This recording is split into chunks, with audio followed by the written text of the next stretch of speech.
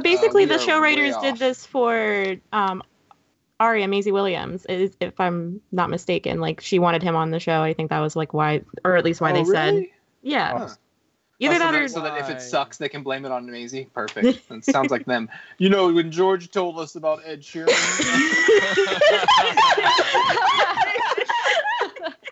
Fuck you guys. Like, come on. That was a good one. anyway, um,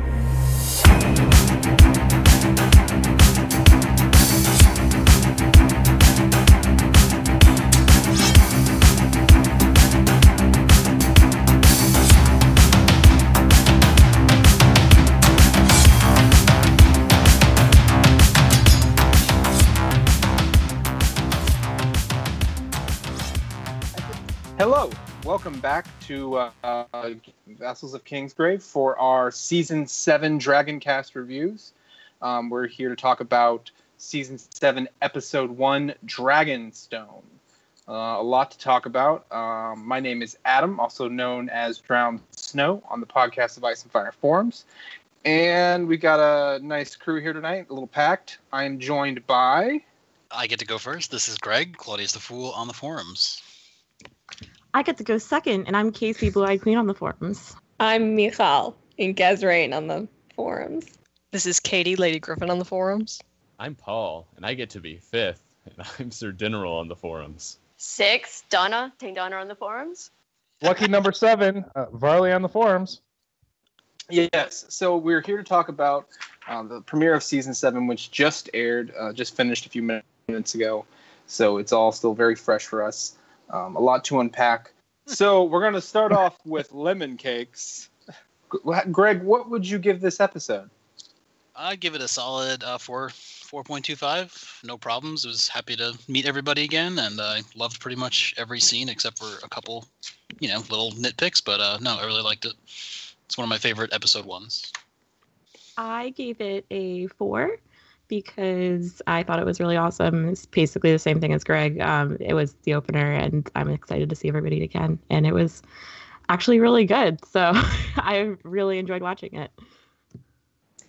I'm gonna leave some room and go for like a 3.5, 3.75, just because uh, I thought it was good, and I was glad that the only naked person we saw was a dead guy. But I also thought that some of the conversations were like, like scribbling on a chalkboard, like Doc Brown, like here is everything you need to know, and you know. It's, it's it an episode kinda like- one. I gotta do know. that. It is absolutely true. I'm not saying it's invalid. I'm mm. just saying it's It's been stuck out fifteen months. I'll give it a five. I thought, it had- Yeah. yeah, Yeah, you do. Going all in. I don't care. Like we do this shit every year. We're like, well, we got a super five for the really good episode. That's such bullshit. There's never a good episode down the line. Are you calling me out? Yes. Thank you. Wow. Just gonna- Cash my chips right here at the front. I thought, uh, yeah, I thought it was patient and took its time for character beats. And my complaint usually about the show is that there's no time to breathe and there's no good setup and payoff. And so the fact that there's only like five groups of characters now instead of 20 to look after has worked in the show's benefit. And so I really enjoyed every single scene and thought it was. It felt like the actors actually had something to chew on other than just going through the motions of plot, plot, plot. So I really liked it. Paul, I- what about you? I gave it a 4.25, similar to Greg. Uh, really liked it. Loved the little. Uh, I just loved a bunch of the little bits they threw in there. Uh, for one, seeing High t- uh, Old Town in the opening uh, sequence was really cool, but uh, also definitely have some nitpicks.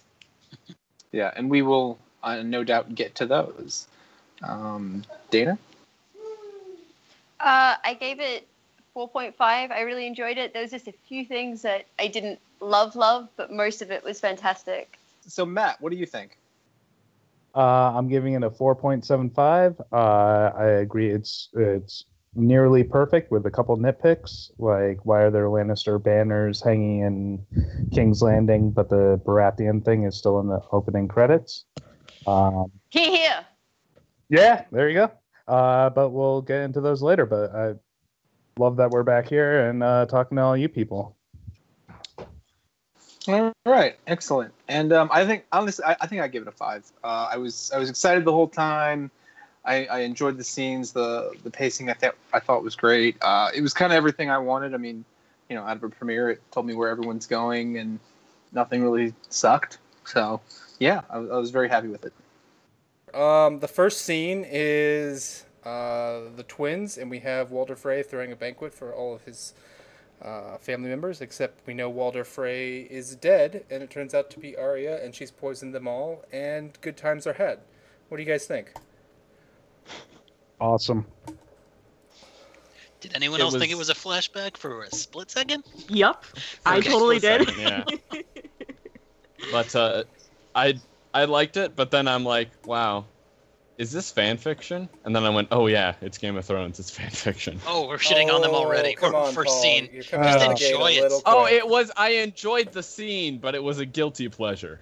Like Yeah. So was her killing Walder Frey. That was a guilty pleasure. Yeah, I mean that you just kind of have to. I mean, the show is is Yeah. taking those steps that we thought were going to be taken really quickly in the book and just going there. And uh I mean, who needs Lady Stoneheart, right? Right, we got Arya. Yeah. We're good. Who's apparently a lot more efficient. yes, indeed. Why bother with this one at a Yeah, time hell of a lot more efficient. Is the So- Red Wedding referred to as the Red Wedding in the book? Yes. Yeah, I I- just couldn't think- remember. I think Tyrion's like they're they're referring to it as the Red Wedding. It like th- there's something in the book that yeah they're like oh yeah they they the people call it the Red Wedding. The media's distorting it. It wasn't all that bad. No. Fake news. Whole episode. No It's a white wedding. It's a perfect day for it. Nothing happened.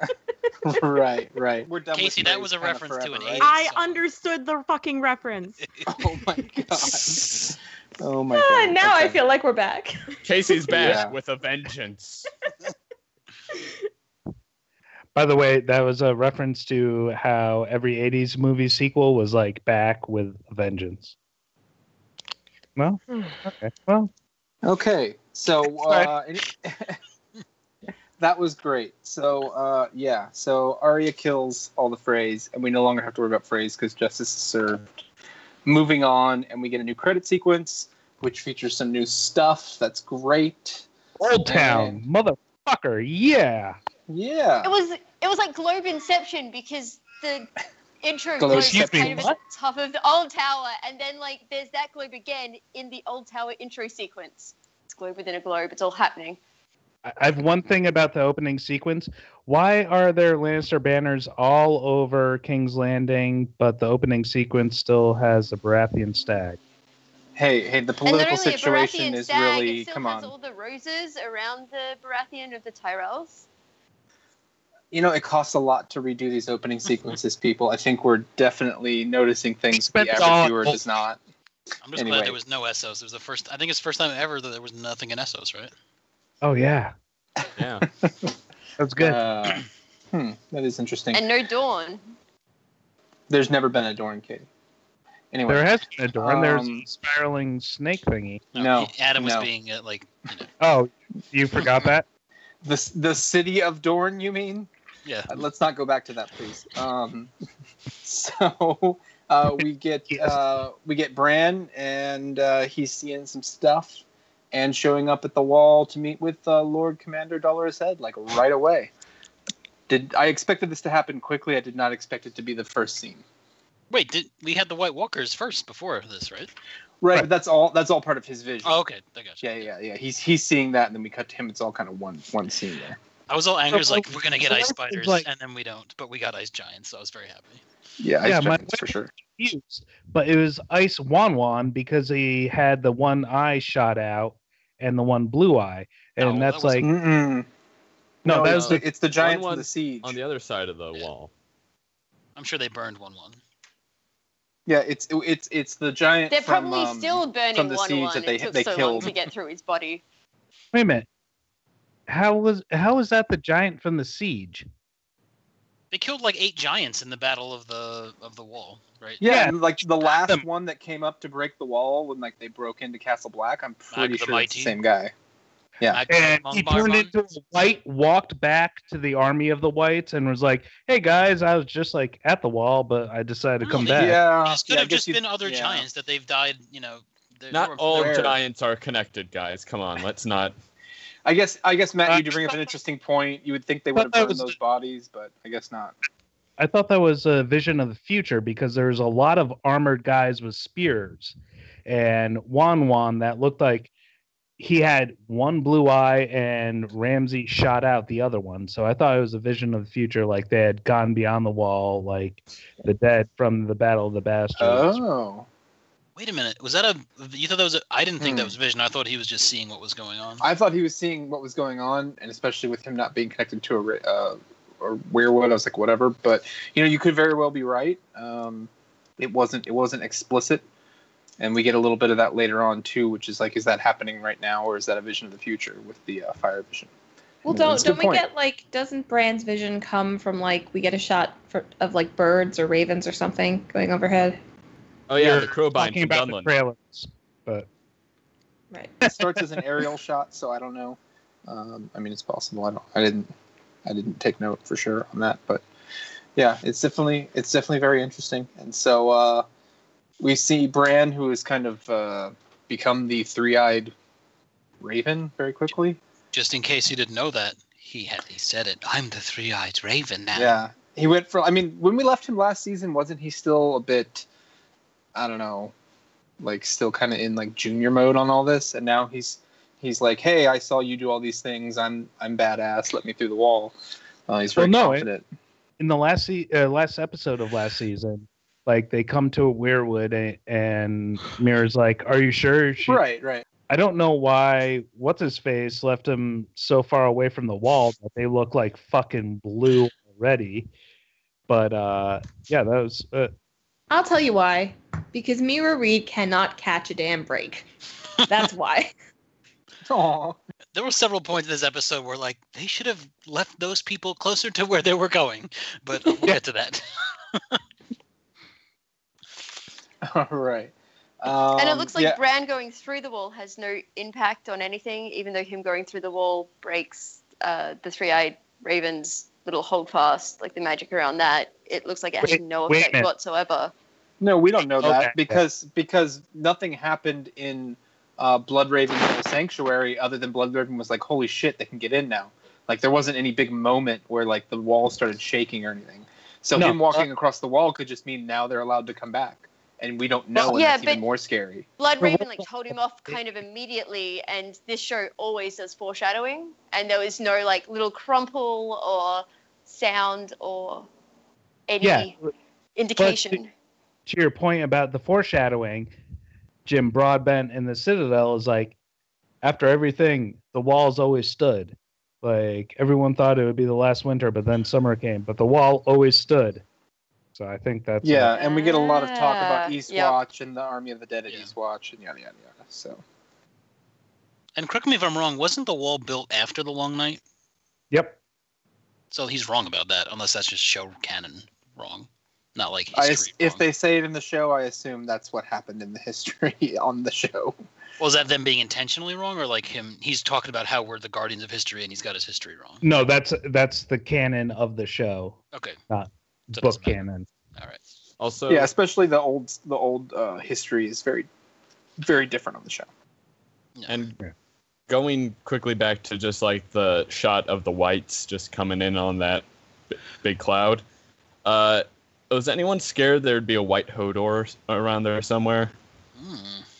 Well, no, because I thought it would be like a past version. I didn't realize like until my wife was like, "Isn't that Wun Wun?" I'm like, "No, that's oh fuck." Uh, yeah, you know that is a way to get Kristian like- Nairn back on the show, Zombie Hodor. Um, calling it now, episode four. Anyway, Zodor. yeah. Oh boy. Okay, I'm cutting that out. So uh, let's let's move on to the next scene, which I thought was especially interesting. Um, we get Jon talking about how we go to mine Dragon Glass, whatever, don't care. Um, and they need to man the wall. Also, woman the wall. All the women need to fight as well. And um, we get kind of a nice scene where uh, him and Sansa are at odds. I guess they sort of set this up last season, but I don't think I didn't feel they set it up very well. And so now, you know, she wants to give the, the castles away, and she's arguing about castles, and he's like, "Are you serious? We just need people to survive. Like anyone that's willing to man those castles right now, because they're the front lines against an army of the undead, is probably good. Like we don't need to piss people off. Let's pick the young boy child and the young girl child. Yeah, Hey, let's pick. they'll do a let's good pick job. Mormont Let's pick has these fucking children. rocked it so far, so you know they're like maybe this is a thing. Did anyone else think they were gonna ma- he was gonna marry them? Yep, I I, thought kinda that did. as well. And I was gonna wonder what the point would have been, but um, Because I guess Alys. I guess because they still have men, and you're keeping men uh, from those houses instead of them running south, right? Well, I love uh, I love that Lyanna. Uh, first of all, put fucking. Uh, God damn it! What's his- Darling, Percy, Mormont? No, not Mormont. The fucking uh, Robett Glover, like in his place. He's like, "Do you want me to put a spear in my granddaughter's uh, hands?" And she's like, "Do you think I'm Yep. gonna be fucking knitting as the dead comes? I'm gonna be fucking fighting, motherfucker." And then like she gives like eyes to like the little Umber dude that like uh, swears allegiance. That's awesome. I mean, she's Yeah. just she's just For- great. For sure, it's a it's a great character. Um, Katie, you were trying to say something, No, I thought they were gonna get married too, just because that's Alys Karstark, and she's Yeah. the right? yeah she's the girl who marries the wildling in Dance with Dragons. yeah, yeah. yeah. So she Oh, should yeah. have married Tormund. The Then, right? That would have been great. Tormund's got other plans. I, I think Sansa had a great point because everyone in the room's kind of pissed off, and these people didn't stand by them and all that. But you know, Jon had a good point too, and it's just it sucks to see them arguing and like they're at Well- the point where they're arguing in front of the entire room of nobles. Yeah. So you know, They it's like, were- what the fuck? They were both right, Um, but they shouldn't do that in front of. That's even said Yeah. afterwards. Like, talk. You can tell anything, tell me anything you want behind, but don't. You got to have a united front.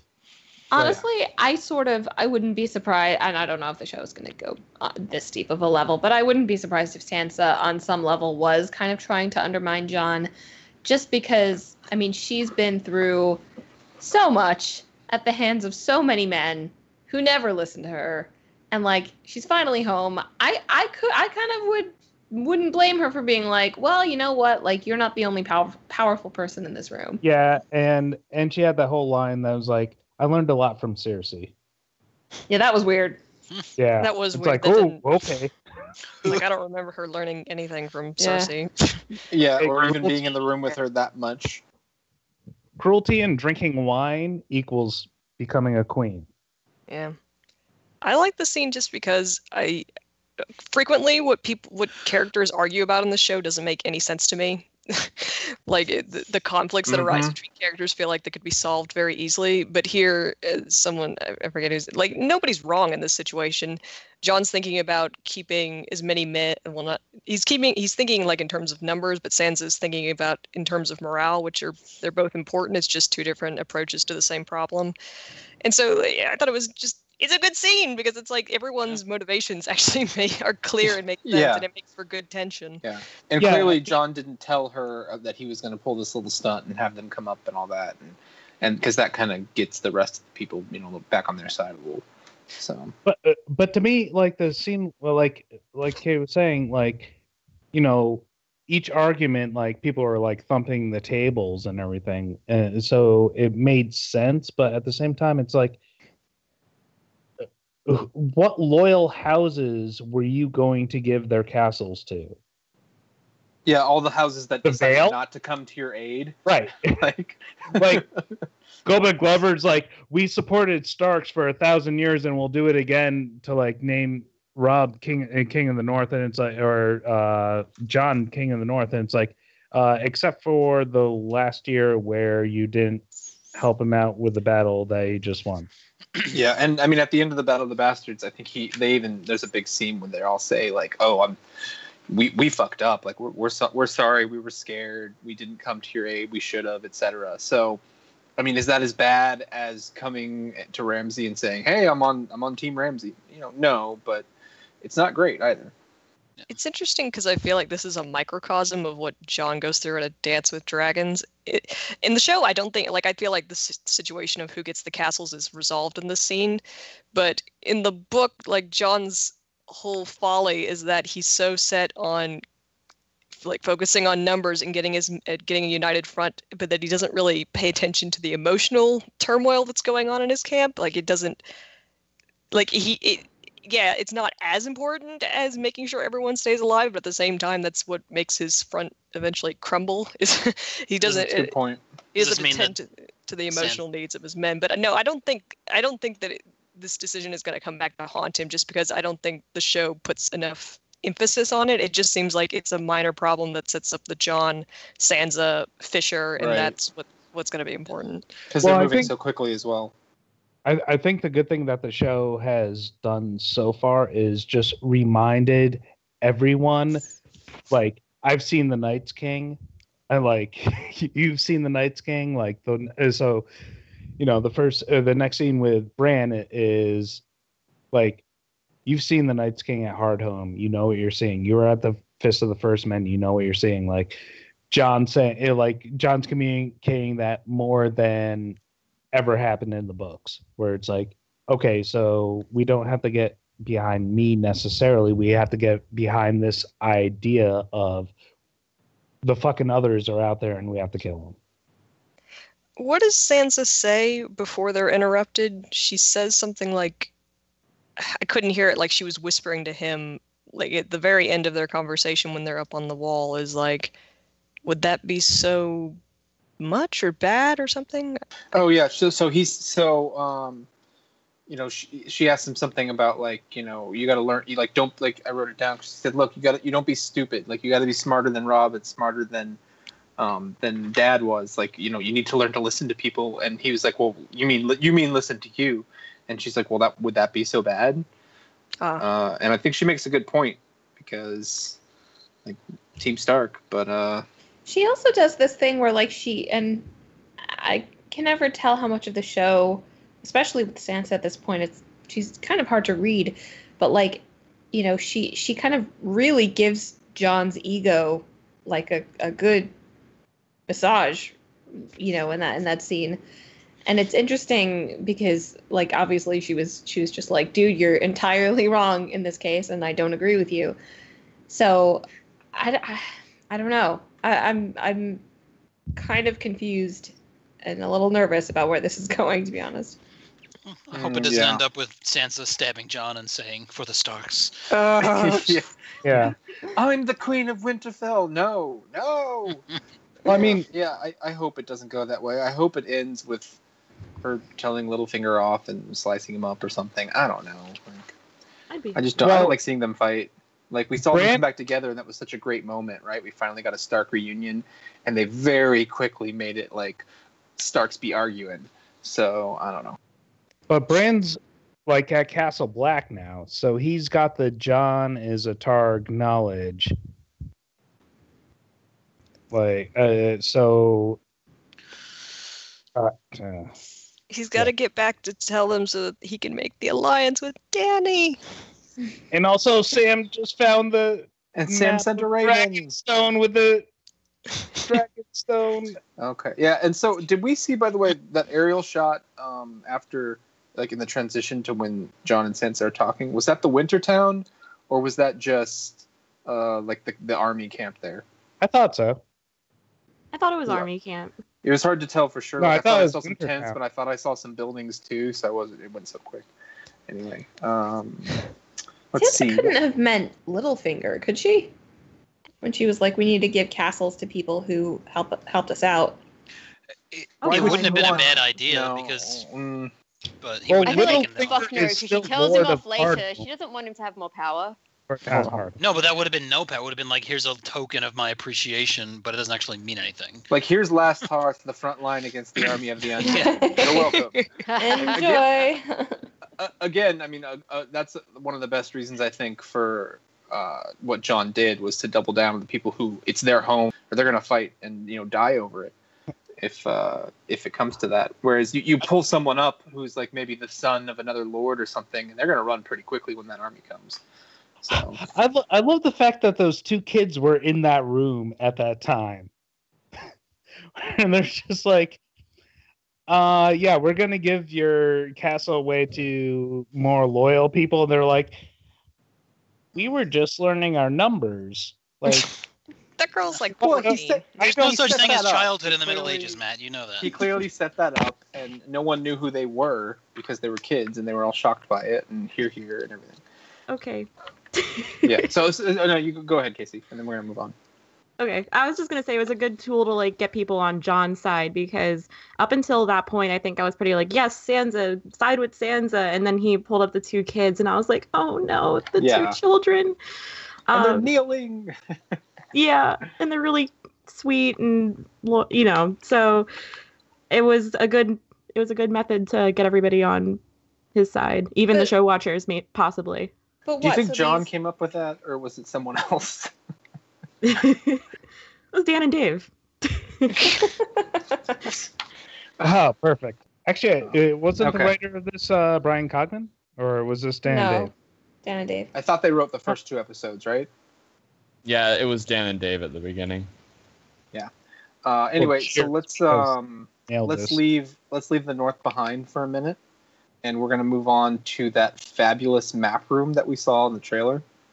That uh, Cersei had commissioned because she likes giant maps of Westeros.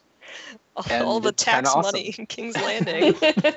Was it one Well, of she- the she can't leave the keep right now. I, I really don't think. Like it's still a tenuous situation. People are afraid of her. She's got her army, but she's probably not going outdoors too much. So everyone needs hobbies, and hers are map rooms. Well, she read the So, books, um, and now she's like, "I want, give me that on my floor. Make that on my floor." Yeah. So just a few a few things. Uh, we get we get the map room, talking about the enemies from all directions. We get uh, whenever they show fleets. I don't know why there's always like a million ships, but we get like a million ships from the Iron Islands. It's and a thousand giant- ships, Adam. It's a thousand ships. you know what? Screw you. So um, we get a giant Greyjoy ship, which is Euron's flagship, and uh, we get the Queen's Guard, I guess, who very qu- they had a time for a wardrobe change, huh? It's like hybrid Lannister uniforms, but they're black. They've gone like full, you know, like dark Cersei looking. Uh, Yeah, and then they've we get a marriage proposal. Yeah. this guy, I laughed when I. He is dressed like he's in Coldplay. His wardrobe yes. makes I just wrote down haircut and lost accent. That's all I had. I just thought looked better. It just doesn't make any sense. And everyone else is wearing armor, like long woolen gowns and clothes, and he's wearing a, like, if he came to propose, this is not. He didn't put on his best presentation. Well, no, I mean that's what his point was. It's like, hey, take me as I am right now, but guess what? I'm gonna get you the most, you know, precious gift there can be. Like, My two hands. yeah. yeah. My three legs. That was the Also- only line that I actually. Also, Cersei called Tommen a traitor.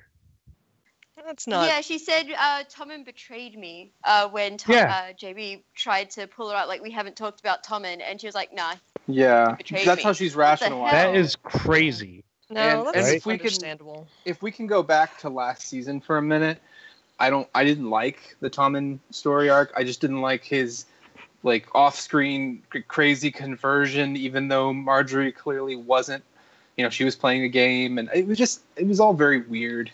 And maybe it's maybe the actor wasn't good enough to pull it off. I don't know. But I just didn't buy it. And then when he jumped out the window, I laughed. Like Well, it was kind of Oh, a I funny loved thing. that. I 'Cause thought it that was, was. it was kind of like a watching the thing blow up and being like, "Bye, Felicia." Yeah, and I mean it's clearly because last season he was making decisions with. I mean, I guess are we? I guess we were supposed to believe maybe Kevan was was down with that. I don't. I don't know. Well, He did a lot of things by himself that we never saw. We never really got the motivation of. So Yeah, it, like uh, what's his name? Uh, Pycelle said, no, not Pycelle. God damn it. What's Qyburn? the- Qyburn says uh, Pycelle asked for um, her uncle to come and, you know, take control of everything. She's like, okay, that's not good. yeah. Wait, you didn't understand why she said Tommen betrayed me?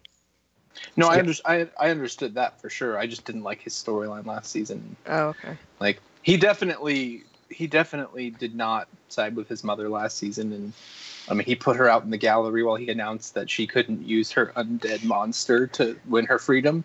So that was definitely probably the moment I would think where she definitely turned. But I think it's more rationalizing in her head. Like she didn't want him dead. Like she obviously wanted to No, like, I take, mean, take the brainwashing off of him, right?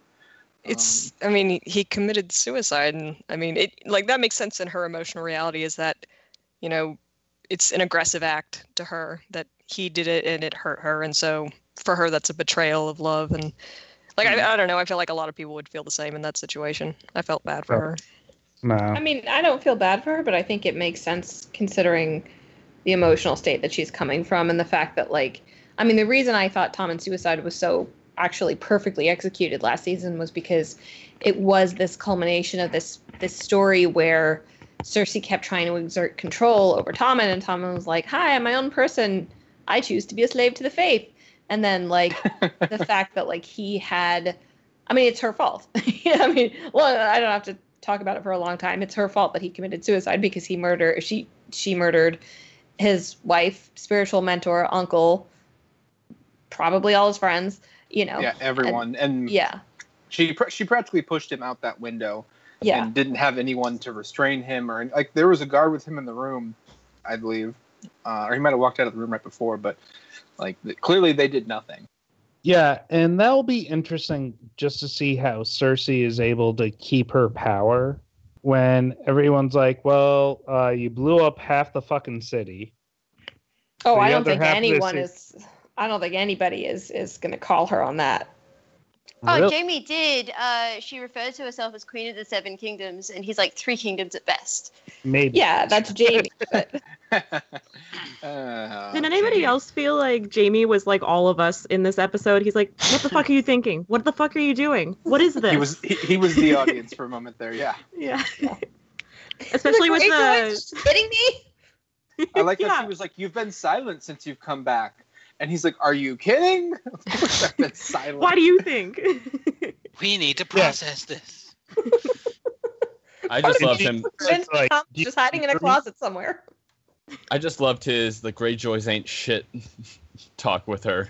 They're just spiteful little men. I'm like, yes, Oh, thank yeah, you. that was that was great. It Like was the Greyjoys aren't good at right anything. Before Euron came into the uh, throne room, it was like, "Oh yeah, I remember that. I remember you killing all my family. You know, that was great." I was kind of hoping that he would have been like, you know, what's the deal with the Greyjoys? The crown is driftwood for Pete's sake. You know. It's not Larry David, so.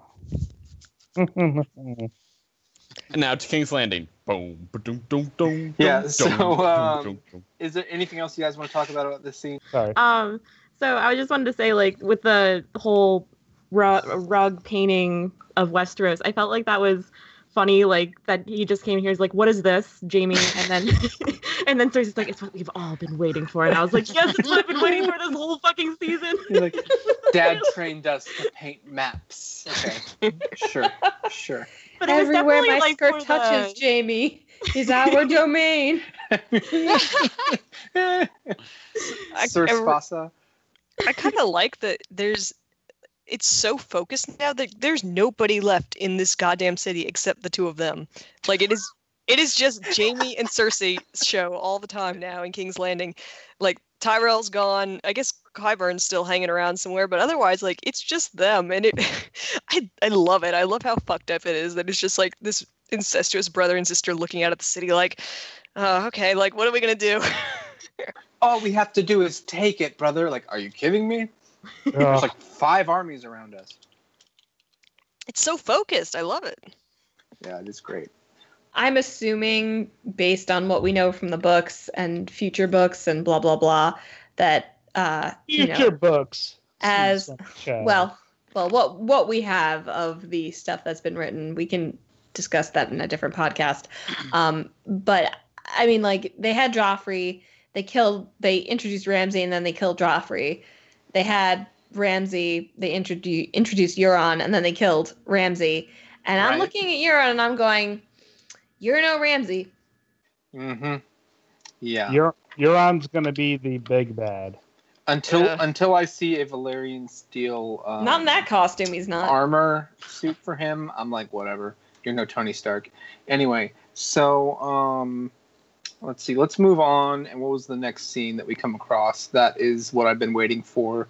Pretty much the whole off season was the Citadel, and I'm glad we actually got a little time here. Except we go straight to shelving books and cleaning up bedpans. And vomit.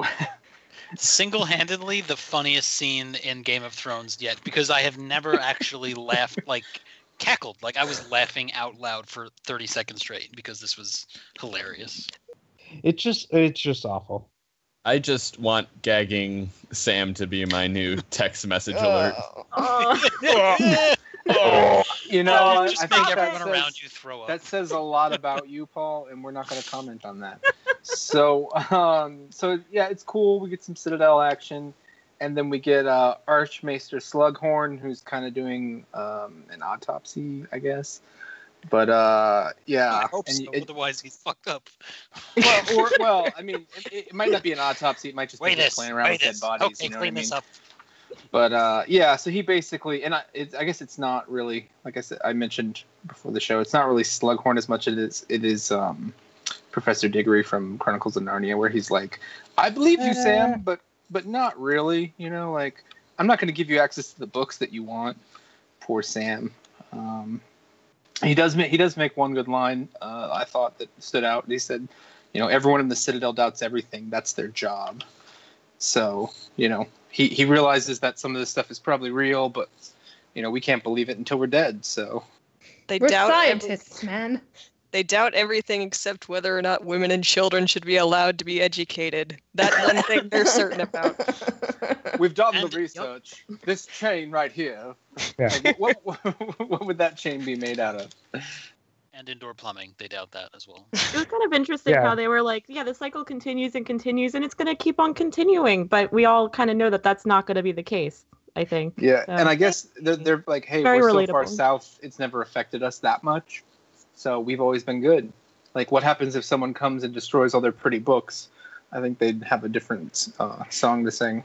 I don't know. I felt like this was almost the first hopeful hint at the future. I mean, he's right and he's wrong at the same time. He's wrong in that the wall will not last forever and the armies of the dead will come down south. I think that's, I mean, that's not re- really up for debate. But I also think he's not wrong that things will continue. They'll just be in a really fucked up form for a while. But it's not as if I don't know. I don't think we're looking at ex- in a, a mass extinction event for the rest of Westerosi history. I feel like Well, for a don't- second there, I wasn't sure if you were talking about reality or this show. I know, I know. I'm trying not to be like, like- gonna- mm-hmm. like it's gonna suck, but it's not gonna be the end.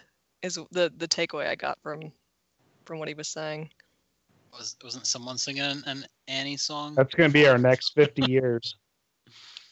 I'd hope it's not the end, but I mean, realistically, if they if they're not stopped, the you know the army goes what all the way down through Dorne, and then just kind of starts. They're like lemmings; they just start walking around Westeros forever because they can't get off the island. No, Nah, and then the Summer Island, spin-off, Summer right. Islanders conquer Westeros, and there's a new Summer Island, you know, empire. So it all history is always, you know, some something will someone will come back and repopulate the lands of the of the dead. Um, Yeah. what weight of measurement do you think they use? I was wondering that too. You know, they had a meeting about this, and David Dan were just like, just don't give him anything, just give him a number, just let him think. What do they use for writing way? it down and everything? Parsecs. Let's go with parsecs. Parsecs sounds. It's the It's- sound. The unit of time, you dumbass. I was making. Uh, I was. That was a joke. I know. I know. Okay. Don't they use stone in the book? If did they ever use measurements in the book? Stone. This man was. They use measurements, and usually when George does, and people try to do some math on it, it's horrible. So I just try to pay Yeah, attention like to it. Robert gained 20 stones, so he gained like 450 fucking pounds or something. It's like the economy in Westeros. You're just like, whatever. Tell me if they're broke or not. Like, it's all I need to know. I wish Nina hadn't said that because that's all I can think about now when someone wins a tourney and they've got a hundred thousand gold coins Six million dollars in their pocket. that they have nowhere to take and nothing to do with. It's just a wagon full of gold. they can barely hold it. No wonder that guy blew it all right after he won it. It's not like there's a bank he can put it. He's, He's like, like, I if I don't, I'm gonna get robbed and killed on the way Yeah. home. So Oh, George. Okay, so we go on. Let's see. The next scene was. Oh yeah, we get Brienne and Pod in the uh, the practice yard at Winterfell, which is pretty Pretty cool. And then we get uh, Norman, Littlefinger uh, trying to creep, like a m- major motherfucking creeper. We get two creepers. We get Tormund creeping up on Brienne, and I'm really glad we didn't whoa, hear whoa, what whoa, whoa, whoa, gross whoa, things he said to her. Whoa, are we calling Tormund a creeper? He's a gross creeper. Oh, Uh, I don't think so. I I, sh- I ship it. Obviously, had consensual sex with not only a giant but also a bear, and he's looking to get a little Brienne love. Ugh, I don't want it. Me I, neither. I don't think Bri- Brienne wants it either. Uh, I don't know. Tormund at least wants to get Pod beaten up by Brienne. You know, he's jealous of Pod. Any hands on him is good hands, I think, when it comes to Brienne. There you go. I am so about this ship. No. Casey. Only in the show. Only in the show. Oh, Not yeah. in the book. Yeah, of only course. in the show. Yeah. I mean, but I mean, I don't like book Jaime or show Sha- Jaime. Jaime. So, like, That's called This shaming. That's shaming. You can say It's shaming. called We don't shaming. talk yeah, Shamey gets back to King's Landing and just is like, I'm all about Cersei. Like, oh, fuck off. But Is that um, that new thing that helps clean up spills? The shaming.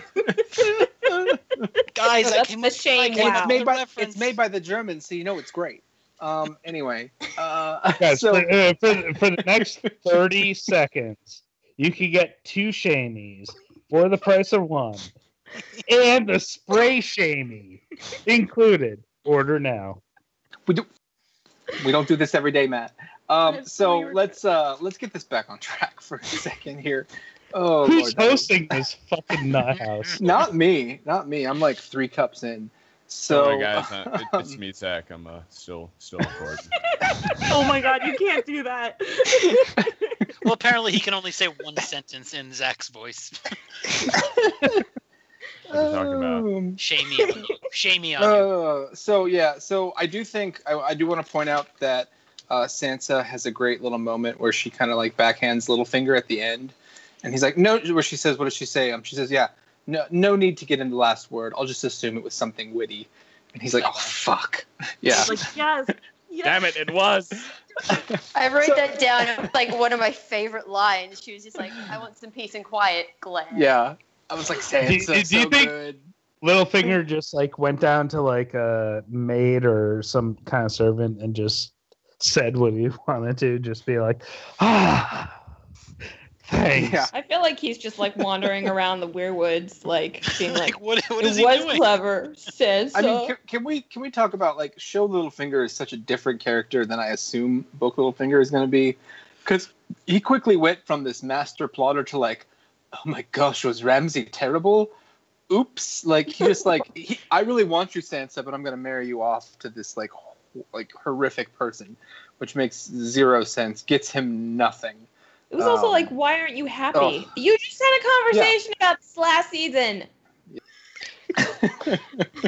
The only thing that disconcerted me about this scene is when Brienne got up close to the camera. She's got some weird Ronald McDonald hair going on that I wish they would change this season. Now I'm just picturing Ronald McDonald in Brienne's armor. No. Oh wait, wait. So, oh man, oh gosh, Ronald McDonald. Okay, Make um, Arya the Hamburglar. He's waiting for a hamburger. Is Cersei black and white. King? black No, and white. Beric Dondarrion's a hamburglar because the hamburglar has those like little things across his eyes. Why don't they Get execute yep. the Hamburglar in Ronald, in the McDonald's lore? Because it's a Uh, children's wow. book. For Yeah, just a fucking argue fast food that children's minor thing. should be executed? The the tw- 2017 summer event at McDonald's, the hanging of the hamburger. Hang him high, and your God. burgers will never be stolen. Oh my gosh. Oh, this is all gonna have to get cut. So, um, yeah. So I, th- I thought that was a pretty great scene for Sansa, and I'm hoping, I'm hoping we get more of her kind of being a solid Stark and less of her arguing with Jon, and hopefully they can all get along and fight the undead together. Mm-hmm, So- that's I gonna happen. I also like hey, how don't dash my hopes. Sorry. Yeah, what were you saying, Casey? I just uh, sorry, I didn't mean to interrupt. Um, I just wanted to say that I liked how um, Brienne and Sansa's uh, relationship are is still a thing. It exists. Yes, Mhm. they are noting that. When did? When did it not exist? Did we see Davos? Oh yeah, we saw Davos three times make Davos eyebrows, but he didn't say anything. He, he during Oh, the no, during the and- scene with Jon, yeah, he kind of like is like, hmm, good point. Oh, good point as well. You know. And they like Um, showed the whole like, oh, you know, okay, this girl reminds me of Shireen a little bit, so he's like fatherly with her. I think it was a little. Oh, because right, They went right. from him to that. It was. That, Yeah, that's what I was gonna would say. you- He did his little like half smile of Shireen Yeah. to Leia Aw. And it was heartwarming and lovely. And she might die now because she. He no, likes no, no. I mean, they all might die. I But don't not because of want that. it to happen, but you know, Davos likes her, and you know, he doesn't have a great run. Oh for one, Uh, you know, it's oh for one. So like, let's let him get. Well, Which is a hundred I, percent. I would say it's 100%, over. like it's fail rate. over uh, a bit more than one. Where are all of his sons? Anyway, um, Uh, yeah. Fine. So uh, we get we finally get back to Arya. Let's uh, let's move on here. She's trotting along on a horse. I thought she was going north at first. I wrote down. I'm like, is she going north? And very quickly, Ed Sheeran proved me wrong. She is going south. Um, Way he too much sings Ed us- Sheeran. He sings us a little tune. and, Cameo uh, my ass. Welcome to the Ed I thought- Sheeran show. well, I thought I thought that the probably the best part of this scene was uh, you see Arya sitting down, clearly taking everything in, surveying their weapons, kind of figuring out like how easy it would be to kill them, and then she kind of realizes that they're being nice and they offer her food, and so she takes their food and decides to become a guest and not kill them, uh, thus saving all of their lives. She does Well, kill Ed Sheeran that night, though. I, I think she just like realizes how human they are and just like you know uh, when the one guy is like i hope my kid's a girl because like uh, take care of you when you're old and doesn't go out to fight for fucking someone else. And i think every time someone says something it's like uh it just humanizes them a little bit. And so it's like for her not all lannisters are bad or lannister army men or you know. Yeah, and then I think Very they poured it on a little bit a little bit thick um, with Soldiers With have that- two sides. Ooh. Yeah, like after she, like once she kind of decides, I'll eat your rat or whatever that was, and um, Rat. It was actually really unclear. I believe it was Yeah. a brace of conies. all right Love English. have any okay, Sam. yeah. So so once she decides to eat that, it's kind of Oh. like that was enough, and then they kept piling on. You're like, okay, we get it.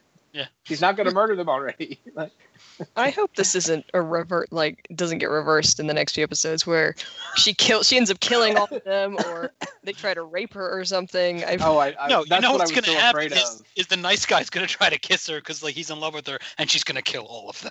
Well, Yeah, I mean, I, as was soon as she was like, "Are you old enough to drink?" I was like, "Please no, we don't need." A, Yeah, a I- rape. I was- Please no. Rapey. is there a drinking age in Westeros? Yeah, I- yeah, that, that, that's what we're. Yeah. It's, like It's actually age kind thing. of weird because Arya basically stumbled across like the tw- the only 21st century soldiers in Westeros, I'm like, oh, hello, young lady, we will be perfectly respectful with you, and like, are you old enough to drink, dear? And like, laugh at your jokes, and it was just like, wh- Yeah. wh- like we have. are so I don't think we've Are met ever. Facebook?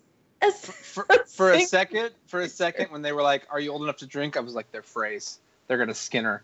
Like something's wrong here." But it thankfully was just kind of the scene was a little awkward. That was it. But I uh, actually like excruciating almost because I was like something bad is going to happen.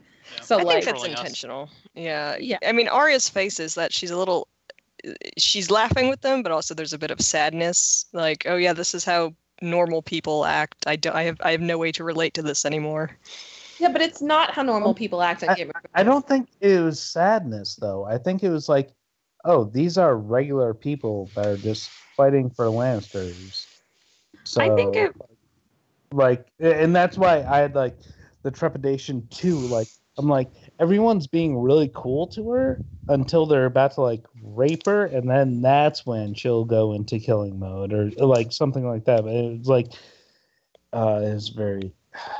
Um, I think it was just a. I think that the scene was a representation of what Arya could have had, um, both in like just being a normal person, being a potential soldier, and then even potentially being a normal daughter to um, her father.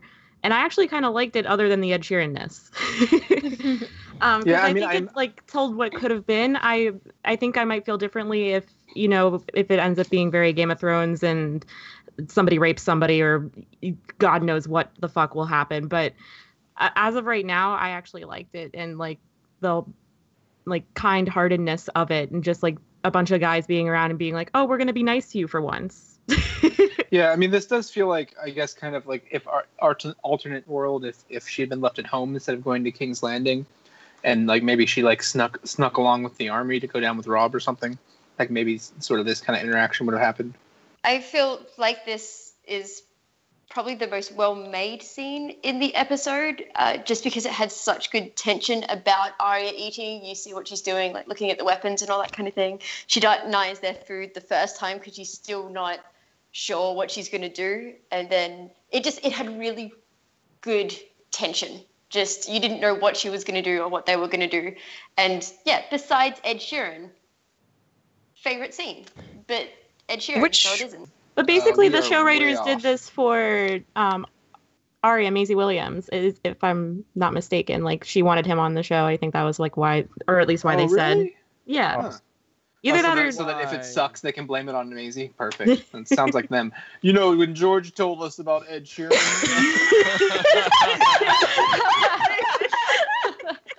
Fuck you guys! Like, come on. That was a good one. anyway, um, I think that's the perfect time to uh, to actually start moving north, uh, and we get Beric and the Hound and Company, and they stop. Uh, let's see, they stop at the Hound's Fried Chicken, which is full of snow, and I don't think that was that far north, right? That was still in the Riverlands when that happened, kind of towards the end of the Riverlands. But uh, yeah, the Hound does not want to go in because he remembers what happened there, and it reminds him of shit. And then he does go in and you know decides to bury the people and he gets a fire vision which is ironic for someone so afraid of fire. Uh, what did we think? Those people look like they'd been dead for 50 years, N- not five months. Uh, they were mummified. Have they been dead for five? um, They were uh, dead for four seasons, Katie. they've been dead since season four so like end of season four yeah I I thought this was the best sequence in the episode, personally. Maybe that's a weird thing to say, but I, I thought it was very very well done and we saw a genuine character change and we rarely see that. Um yes yes and that's that's not a criticism that we rarely see that, but I mean it's you know it's a long running television show. Pre- people kind of just sort of go along the same scale, and this is we we've seen like I don't know we've never seen the Hound do anything like this, and we've never seen I, Right. I, I don't think a character change And- in this way. I think like Rory McCann's portrayal of the Hound has really been on point, um, especially even like last season and then with this. Like they haven't given him so much as far as like a range up until recently, but uh, I think he does a great job. I think you're absolutely right. Yeah, and I liked that it was you know that it it was kind of that interesting boundary between like even Dondarrion doesn't know doesn't he doesn't have any answers. You know, he just kind of is trusting in this like the messages that they keep seeing in the flames, and it's like, well, that's enough, I guess. I, I like Uh, the banter between Thoros and Sandor. All right. Okay. Yes, there we go. the, the top knot bit. Yeah. He's like, I know, I know you're bald, just hiding it. that was that was great. I wrote that down as well. Um, yeah, I mean, I just I think uh, that's what I wrote is like, are they Wait. best friends now? um, Casey, did you have something? Uh, yeah, sure. Um, so we got our gravedigger scene, the gravedigger thing. Mm. Um, I thought I thought it was I was like I kind of rolled my eyes at first, but then I was like, oh, this is kind of heartwarming a little bit, and it kind of like shows how even though he was with um, a religious group for a while, he like still is just like fuck this shit. Yeah. until until he looks in the flames, and then yeah. that seems to. I mean, it's interesting that he like goes right to do like he. I don't know. I I was very moved by the fact that he like cared enough that that was what it, like that inspired him to to bury them and like to confront that in himself that Hmm. in some way this was his fault and like he even goes so far as like you know I mean five minutes ago Sandor Clegane even if he had buried them because somebody else insisted would have like spat on the graves and been like good riddance you know I mean like he's trying to pray it's you know to the think- to a different god but still Do you think Yeah. he only buried them because of his vision, or if he didn't have the vision, he still would have buried them? No, I think it's because of the vision. I think he, they, you know, they have that whole conversation like what happened to them. Like, oh, it was even worse than you imagined. Like he killed the daughter and then killed himself and blah blah blah. And then it, you know, and it's just they they both say like, oh, it doesn't matter. It doesn't matter anymore. But clearly, something comes back that it does matter. And he he, I mean, he can't let it go. He's like that girl would be alive instead of you. Like, you know, you shouldn't be dead. I don't know. I, I found it really like a tremendous alchemy that happened in him and i really I, I also thought that was a really good parallel that he spent all that time with you know pastor mcshane or whatever last hmm. season and like it made not a single dent and he's arguing theology and then this one thing happens and you know Yeah. i don't You know if saw he's a an man faith thing. but he's yeah Do we think it was more effective that like they didn't spend any CGI and we just saw normal fire, or do you think like maybe they should have showed us some shit? No, I think it's fine. well yeah, i think I, I think it's fine. I also I think yeah, the reaction is he- in his eyes. maybe right? he would have um like he still has his regular bravado when he's talking to people, but I still think he would have buried them even without the fire vision because he does it something in secret and when everyone's asleep. Um, so I think that's more personal growth because of uh, Pastor McShane instead of seeing a vision in the flames. Have we all forgotten Meribald? His name is Meribald, isn't it? who cares Okay. Even for like five Wait. seconds. He's Mr. Wednesday, isn't he? Oh, for fuck's sakes. he's pastor wednesday Brother Wednesday. He didn't care about being on the show, so we don't really care what his name was. I gotta get over to Starz. They're paying me for nine episodes. Eight. I don't even know what Eight. this shit It is, was but eight. I'm gonna act Thank the you. hell out. of it. Um, I mean that's Okay. that's an interesting thought, Dana. It's it's possible for sure, but I I don't know. I feel like that happens in that sequence for a reason, and you know, I mean, my, that was my initial thought. Maybe was that he was that that was just his plan. Was like, oh, like once he saw the bodies, he was gonna bury them. But yeah, I mean, I don't know. You both could be right. But I mean, then he could have been like, "Hey, I don't want to spend the night with two corpses. Like, let's just bury them." yeah, yeah. I think regardless of him like believing in Azor Ahai and you know the Red God and all that, I think that he saw something in the flames that was bigger than him and what was going on, and bigger than him worrying about these two people that he killed, and he just you know repented his sins and uh, move on to the big threat. And and judging from experiences with other people who've had religious experiences, he's not going to shut up about it for the next four episodes. I mean, he's still the hound. like, I, I Oh, kind boy. of tend to think it'll, you know, guys, But I- guys, I mean- guys, guys, guys, guys, guys. just just like a I very baked this small chicken using fire. Oh my God. um, no, but just a very small thing I was thinking in terms of like why they didn't do like a CGI, you know, interpretation of the vision. I I tend to think that like we are so so spent already on this imagery of like the White Walkers and you know the Night King and and all of this stuff. Like, I I feel like they have to be careful about how often they use it and like because after a while it's- it's just gonna be like okay and it would probably be hard to make it look good anyway. So why spend the time when it's effective as is? Yeah.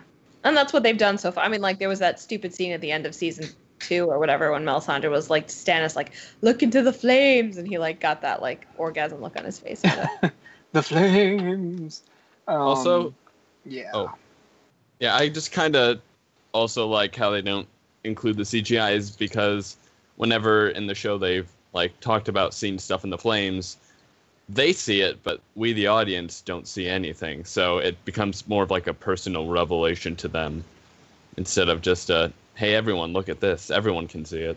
Yeah, and I mean it's like the power of, of books, right? Is that like we all have a different vision of characters and things in the books from what we read, and that's that's a pretty powerful image. So it's kind of nice to leave it up to us. All right, so let's move on because we all know that Greg's been sitting over there angrily waiting for this. Uh, so so uh, we move back to Old Town when we see Gilly, and she's awesome, and that's all cool. And we learn that uh, Dragon Glass is made of dragon, or Dragon Stone is made of Dragon Glass, I guess. And we see uh, old Jorah, I guess, went to the Citadel for some help, probably, because there's a dude with grayscale that sounds a whole lot like old Hor- Horsey Jorah.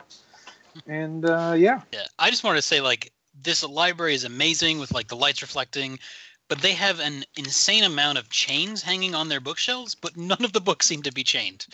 He's just stealing books and taking books. Did anyone else notice? Hmm. Every single I- bookshelf had yeah, I- ten thousand chains. I hanging wrote it down as well. It's like what why why don't they have like a chain section and an unchained section? Why are some books chained to the Nothing's bookcase chained. and others maybe not? maybe And chains in are the just hanging hanging. section, like why don't you have desks there so you can at least maybe put they chain the people there. When you're a maester, you're chained there for days at an end until you read all the books. Well, like you said, there should have been a table to sit at. But uh, Maybe Yeah. maybe like the the chains like are connected, so when like the library is closed, they like pull them taut, so you can't pull the books out. I don't know. Hey, Greg, what do you use the chains for in your bookstore? Yeah, I was about to say. How does it measure up, book section owner? for those chains. That's, When is when is the Ice and Fire Chained Edition coming out? you know, there's one on Etsy. I'm sure you can buy one on Etsy. I don't want anyone stealing my book. No one's trying to steal your book, Bob. Jeez. but no, that was it was pretty cool just to see all the chains. But uh, I mean, just those kind of like the chains. Hype for chains. chains gets me going. Chain of Thrones. Chain of Thrones. My God. And we're there. Did anyone get a good look at the book when he is looking into the restricted section? Was that Looked like about the movement of planets? that's what I thought. Like- Looks like an astrological, like it should have. yeah, and Planet it circling kind of sun. looked like something ramming into something else. Was was this confirming moon like moon dragons and the fact that there was two moons Yes. before? I think I it hear that. really I hear that recent, the recent Time article from George R. R. Martin did confirm moon dragons. That's all I'm gonna say. Also, you don't What? display a book open. Brett nailed One it. displays a book open. It's bad for the binding, especially these If guys. you look, if you look very closely at the book, the title is "White Raven was right." Um, Um, the bindings, yes, drag. Okay. So, who's uh, gonna? So yeah. what's what's with Jorah? I thought it was in Maester jail, and then I realized, oh, he's like a He's in quarantine. quarantine. Yeah. Quarantine. Yeah. So what what is his plan? Because the Maesters obviously have never cured grayscale. He went there and was like, "Hey, do you have anything?" And they're like, "Yes, in this room," and like locked him away. And Like, now So he's they're like, probably studying it. Wait. now he's like, "Has can. has the Dragon Queen come? I told them she would come." Like, okay. Um, I, I, I don't know what part of the wall. this is an attack on Titan. Um, I don't know what he was doing there. Like, I, I don't know. I guess to him that was the most logical place to go, but clearly he's stuck. I mean, I don't Is know it- how he got there that fast. But Yeah, Is that's he what I'm replacing confused about, too. Aemon? Um, because you know how when Aemon dies, he tells Sam that it's Dany. Is Sam going to put it together between the dragon glass and Jorah being there and tell um, Marvin? Marvin? God, no, that's Marvin. Marvin the Martian. Sorry. You know who I'm talking about. Yeah, I think it's entirely plausible that um, he goes, "Wait a second, this guy was just talking about Crazy Dragon Queen, and you know she's at Dragonstone," and he goes and is like, "Hey." I need to go to Dragonstone, and they have a conversation, and somehow Jorah knows things because reasons I don't know. This is all just going to end up in like episode five, where Sam, Jon, Dany, everyone is on Dragonstone together, and then they they have a little powwow and They can't wait till episode five, son. There's only Or seven three, of them this whatever. year. No, that's Three, next yeah, I forgot three. episode. Yeah, episode four, like the White Walkers are already in Dorne. Come on. Dummies. Oh, yeah. So um, I guess it's it's really convenient that uh, there are now dragons at Dragonstone. I guess. Yeah. There's nobody. Or They just not nobody defending Dragonstone. Just Yeah, what so- happened then? They just it all like- died. Everyone Abandoned. left? They They they, just- they basically when when uh, Stannis left, he like he took pretty much everyone. I think. He No, left. like, And- the Lannisters know that that's where like- they're gonna go. They should have like at least put some like tank traps in the water or something, you know. D-Day it. Yeah, D-Day it Yeah. up. They gotta go get those old some Nazis in those old uh, anti-dragon Oh potions. Grey Worm, You know, go, go, um, go, go.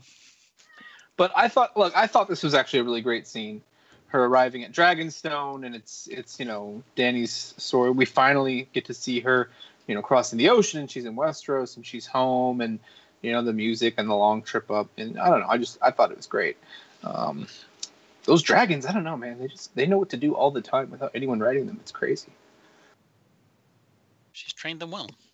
She Yeah, read those so- Cressida Cowell books. When did she train them? So sorry, They had a Greg, with trip. uh, pull down of the Stannis banner.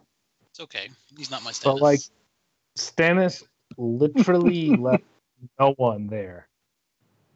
Like they're just like, well, Maybe a janitor. They might have left. They Like, might have been even- like, Yeah, eh. there, there is no women, Yeah. there's no children, and then there's no opportuni- opportunistic pirates. Come on, someone would I'm- someone would find out and just be like, San. "My castle now." It's just like sitting there. Also- ah, welcome. sat on that. But I mean, for all we know, there were some people, and like they, they, it looks like they sent like a boat of Unsullied ahead, and like because they opened the doors and stuff. So for all we know, there were a few people who were like, "Welcome, I'm the cook. I've just been here cooking the whole time." My Good name is you. my name's Cook. I'm the cook. Yeah, I cook for everybody. we, we've we've learned that the blacksmiths and the cooks and all these people, they don't care what lords they are, as long as they're fed. So you know, uh, that's entirely possible. But I think likely that whoever he left behind, if he left like, you know, twenty men behind or, or some stupid thing to protect Dragonstone, they, they left long ago. No, I just once- was thinking more that once like he was defeated. Stannis has been gone. He's dead. You know, the Lannisters would have had someone there to bar her way or treat with her or something. I don't know. Then uh, just to leave it open. But oh, they do. grand They have the entrance. great choice.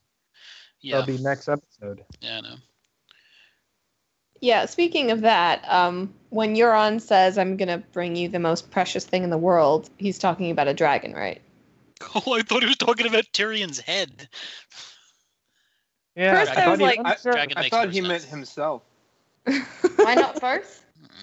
Yeah, I mean, we, we haven't had any foreshadowing of him like with a dragon horn or anything on the show, right? I mean, he was like, "I'm gonna go to Daenerys and give her the man love, and she's just gonna give me a dragon," and that was it. Yeah, there's no horn in the show at all, right? No, There's not yet. there's no. th- I, do they even mention him going to Valyria or anything? I, I don't think that anything of- has, has come up. Not that it can't. I don't but- know. I'm pretty sure the the show has a few horny people. Ugh. Oh, file that. Come on, it's good. No, join you. I can't join you on this one, man. I'm sorry. no. In the books, um, we have, I mean, mysterious, but still pretty, like, at least if you're as psycho as we are, like, pretty clear, like, rules for riding dragons. I don't think any of those exist in this. Like, we, we haven't had a Quentyn get burned to a crisp. Right. You know, Tyrion was able to do it, and I don't was able well not ride them, but feed them. You know, I I, kind of don't know if we need a dragon horn. Do you think he can just kind of roll up and be like, "Oh, Viserion, good Vis. Oh, he's mine now. He likes me." And that's Maybe. be the end of it. Or or maybe or maybe We'll it's capture you know maybe We'll he kills one of the dragons. Yeah. Or, Oh, and he just bring he brings her like a dragon head or something. yeah. Um, but then there would still be two others to. I don't. I just feel like however you slice it, Euron may win like a naval battle or something. But like Cersei's fucked, man. Those dragons can just like fly up and burn the keep to the ground. Um, And how Does do they anyone- have soldiers? Is Like- it? How do you think Cersei's gonna go out? Is she gonna be killed by Jaime or is she gonna be eaten by a dragon? Or Arya. She's gonna kill herself. Yes. She's gonna get eaten by Arya. Oh, No. Fan fiction. I'm Whoa. just out there. no, Arya's gonna murder her. That's that's that's No, that, I- that's, that's too my obvious. Yeah, it's too I- obvious. We've already Yeah. seen Arya killing too many satisfying people. true. So I, I guess if we're gonna put this, you know, this would be sort of like a going forward thing. But if we're gonna put this out there, like, what are what are the odds that Cersei survives the season? Um, I mean, like, I, I I don't like the idea of her being like the defeated Cersei who's like being held prisoner, especially by like Dany or someone who doesn't really know her at all. It Like I don't know, feel weird. But they also, I don't think they want to lose her on the show, and I worry they might try to keep her around for the final season. So Um, here's my theory. My my general approach to this season is that almost every is that we're we're gonna be done with the Game of Thrones at the end of this season, and the it's it's the Great War that will be season eight. You know those six episodes. So anybody who is deeply rooted in the Game of Thrones is gone, and that includes both think? Jaime and Cersei. She broke the wheel. I have a feeling Jaime's gonna somehow make it to the end of like the end and do something good to redeem everything. But uh, I agree that Cersei's Yeah, I, I, I want to see him, but I don't know. it would be a shamey if that didn't happen. Let me get the bell. I gotta get the bell. Uh, Shame. shame, shame, shame.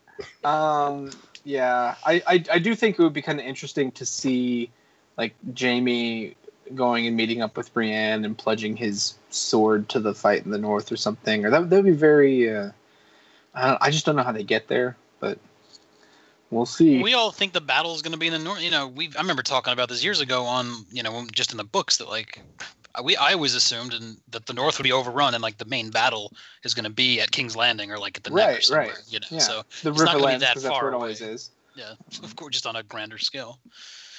But I mean, honestly, with Cersei, I feel like her story is kind of over. She's technically won the throne, which is what she always wanted. Her children are dead, and she can fuck Jaime whenever she wants because she's the queen. So I feel like there's only one way to go here.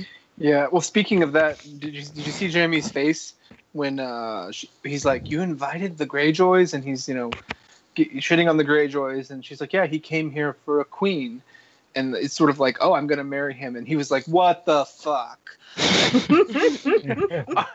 no, no, no. I, you know what I've done. You know what we've been through, and you're just gonna go marry some other dude. Like, you know, I mean, she doesn't, but he had a look on his face. Jaime had a look on his face the whole time.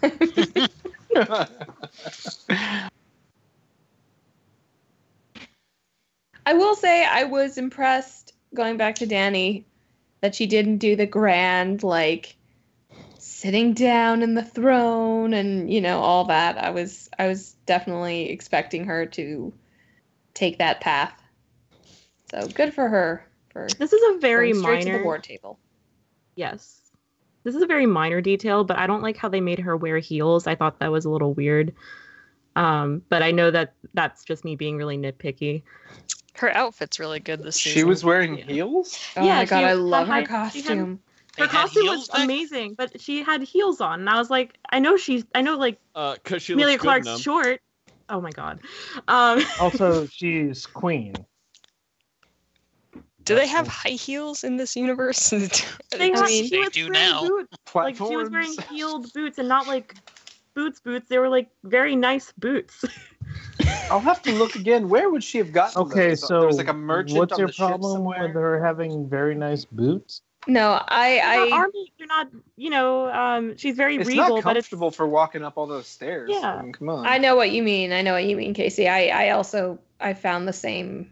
I saw the same thing, and I was Are just kind of like, out of oh, Hollywood. Yeah, exactly. I mean, like it, it's very nitpicky. Emilia Clarke did a great job. Her outfit looked amazing. I just was like, why is she wearing boots? It's like it's like breasts on a um breast bre- Nipples on a breastplate. breastplate. yeah, yeah, that's what I meant. You mean Breasts on a nipple plate. You nipples on a Nipple nipple plate? nipple Oh, plates are a completely Traditionally, breasts and nipples are on the breastplate for a reason. I mean, I'm they, just gonna shut make up for they, the rest they of the- deflect swords in a specific way. Ooh. I like Shamey Nipple played as a the, the porn name of someone in this. But you know what? I, I would take. I, I, I would have liked it if, when she was running her fingers along that table, she got to the other side, and in the dust, there was just a Melisandre butt print left there from. right, right. It might oh know my sounds like god! Stannis got laid here. or maybe, or maybe like some leech husks, and she's like, "What's this?" Ugh. I well, prefer since to I'm going to be have living here, Grey Worm What grab the really- black light. Oh hell! What would have been great is if like she turns a corner, and then like G- Gendry's there with like a raggedy beard, like, "Oh hey, um, haven't had a visitor in a while." I've been squatting Welcome here. to my kingdom. I'm actually not convinced that's not going to happen. West Westerosi Oh, law Gendry's after a gonna year bring became mine. red If you want it, you over. have to take it. to Dragonstone. It's known. I'm excited about this season. I'm just happy. I've, Yeah, I- haven't I- added I- so much to an episode. That's Shamey. I wish we could have like the first two or three episodes right now. Um, yeah. yeah, that's frustrating, and especially because we only have. I thought we had eight this year. Uh, Somehow it's only seven, so I don't know. We're already on episode four. Episode four next week. Yeah. It's almost over, guys. and I mean, this is like I think I've said the past few years. It's like I think it would have been better as like a premiere episode that was two hours and a finale that was two hours, and then you have less weeks airing. So now we have less weeks airing, but also they didn't really extend the episodes. Oh, but they are. Yeah. The- the They're a little bit extended. two- extended. 81 minutes. No, the final two are like An hour and a They're like an half. hour and a yeah, half an hour and a half each. Yeah. And I think they're talking about like next or ne- next season, whenever they actually air it, it's supposed to be like possibly each episode's going to be like ninety minutes, Oh my god, that's even So though what's- there's only the even though there's point? only six. What's the point of cutting them down then? Is it just from a plotting or like a pacing point of view or a production? Um, plotting, pacing, or production. I I don't know because Pick I don't think If you're doing production because six they just 90 shoot minute this all. episodes, that's They shoot this all at the same 10. time, right?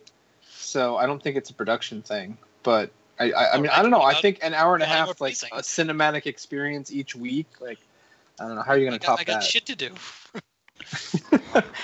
so it was great. Yeah, thanks. Uh, thanks for joining me, everyone. And um, we will. Let's see. Next week, what do we have? Episode two is called Stormborn, and that one is written by Bryan Cogman. And then the third episode is David and Dan again. It looks like. And uh, so, well, who knows what that'll be about? But I'm sure it'll be interesting. So we'll see you all then. Bye-bye. Bye. Bye. Thanks, Bye. Adam. Thank you. Bye. Shall we then have a good started? time. Bye.